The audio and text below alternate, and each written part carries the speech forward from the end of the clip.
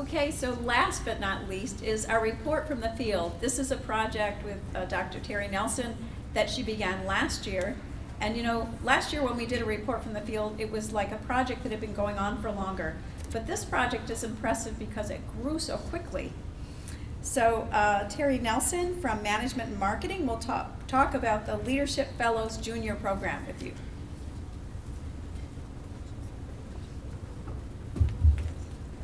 Not for somebody five foot one. oh well. Uh, good afternoon. Uh, I want to thank uh, CCEL for having me here. And unlike most of the people who have talked today, I wasn't looking for something like this to happen uh, in, in conjunction with our university. Um, I had started here as an assistant professor of leadership in the fall of 2013.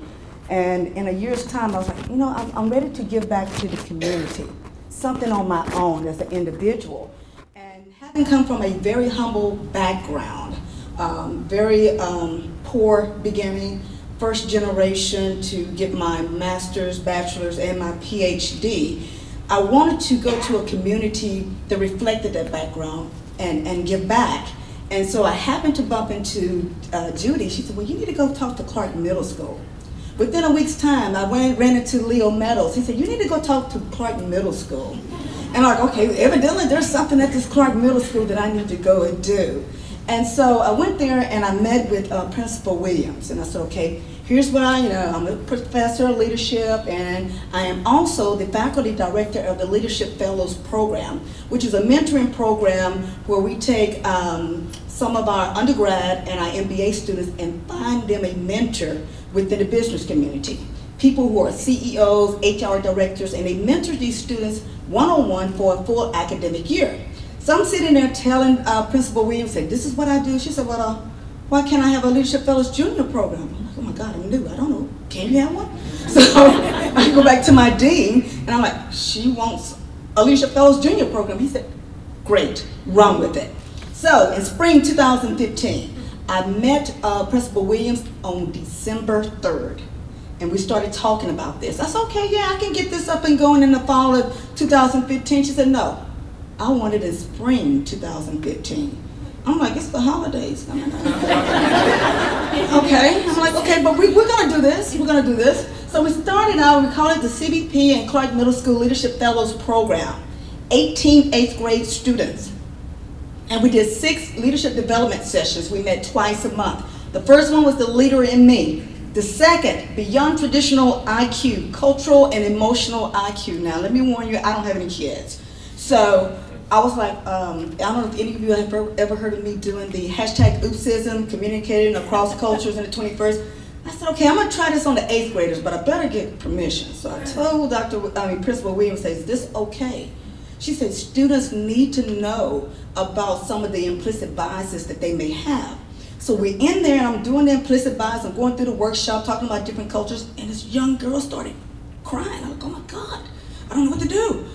So, but here's why. She was so moved about some of the things that we say to each other as human beings that are hurtful that we don't realize. So we went ahead and from there we did negotiation conflict resolution. Dr. Frank Jeffries, this is a module that he actually takes out of his class and brought. And then, believe it or not, I have a fear of public speaking. So, seriously. And so I decided to do a session on public speaking, hear my voice. We're gonna have a competition. Judy was one of our, um, one of our judges. The students loved it. I'm like, okay, I wasn't like that in eighth grade. Okay, so went ahead, we did, we did business uh, ethics, and also lastly ended with Paul Wasco doing a life planning exercise to prepare for college success. Sounds like a great program, right? And then also, I'm like, okay, my uh, leadership fellows at the college level had to do a community engagement project, but so do you.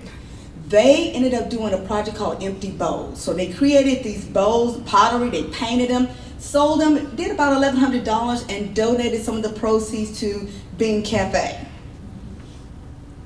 And lastly, they graduated in April 2015 alongside the college level, level leadership fellows. So that was exciting for them to walk across the stage, shake hands with the dean, but really giving them that insight or that feel of what it means to be in college.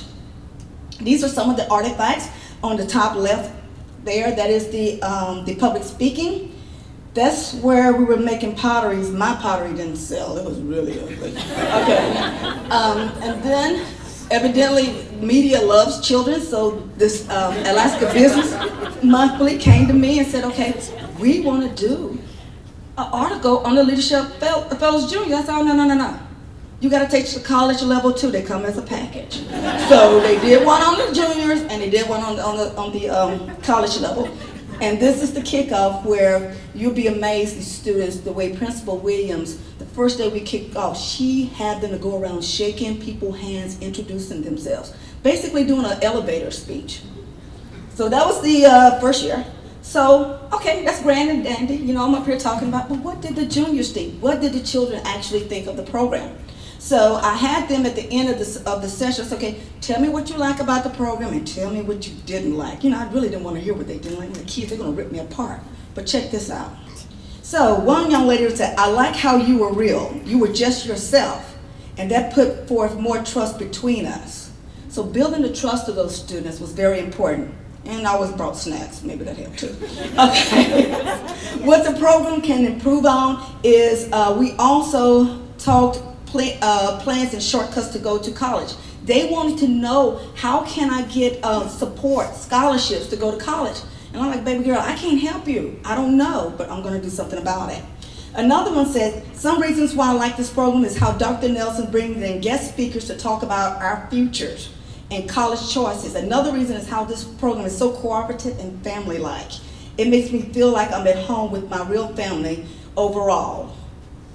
Another one said, I like professors come and teach us stuff and give advice about our future.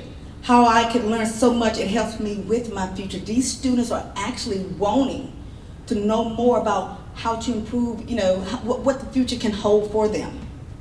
Another one said, uh, kept us entertained, uh, found interesting ways to uh, introduce things, made us think about trying what we wouldn't know. Do think about that we don't think about in our regular life. So we expose them to something new, some new knowledge. And lastly, things to improve. Okay, here we go. They wanted more people to come.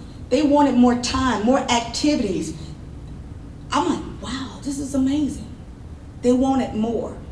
So, this is where they graduated. These are the juniors on the left hand side, and these are my actual college level. So they came and they graduated at that time.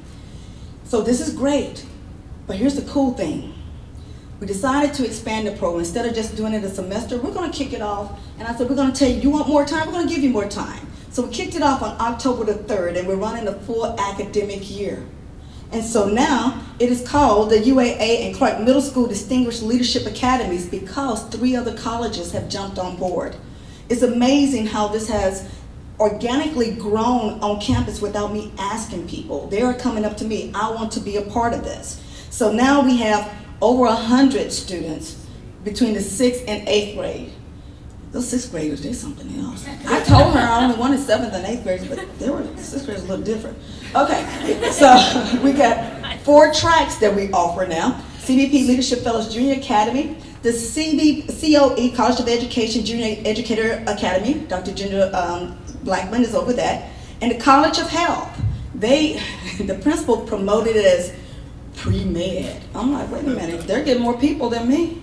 So everybody wants to be on the pre-med track. So she said she could have filled at least three more classes of that. And then lastly, the CBP dot coders. This is Dr. Dennis Drinka, where the students are coming on campus and actually learning how to design websites. They wanted more speakers, I got them more speakers. So through the Leadership Fellows Program, I got people coming from the AI, academic, innovation, and e-learning. Let me get that right. So uh, Dave Dannenberg came up to me and said, I want to do something with the kids. I'm like, okay, fine, cool. And then ISER, I went to Diane uh, Hirshberg, I said, would you be interested? She said, most definitely. So she's going to come and teach the students about ISER stuff, econ, something that I probably need to learn. And the College of Arts and Sciences, um, Claire Dannenberg, came up. She said, I want to do a session. And she's doing the coolest session of all. So I'm originally from Little Rock, Arkansas. And I was born and raised in the South, and I was told you cannot say the word ain't. But she told me that is a legitimate word. She said, it is, it is technically correct. I'm like, cool, that's all I wanted to know. and then we have a couple of more professors from our College of Business and Public Policy that are jumping on board to hold sessions too. Uh, so now they wanted more sessions. We will be given 10 sessions throughout the full academic year. And I thank God for Judy for recommending a uh, CCEL Community Engaged Student Assistant Nick Morrow. If you please raise, stand up, Nick. Nick is one of our college level Leadership Fellows alumni. So, like you said, I could not have done it without him. So, thank you for recommending that. And since the students were asking about college information, we're going to have a mini conference at the end. One of the things that I had a difficulty of being first generation, and I never forget this, my father, he uh, had 10 siblings. None of them went to college. And I graduated with, you know, I had Junior Honor Society, National Beta Club. He didn't know what that meant. And I went to him, I said, hey, you know, can you give me some money to go to school? He said, why should I? Nobody in my family went to school. So you don't know what kids are dealing with. So at this mini conference, we're going to ask the students to bring in their parents.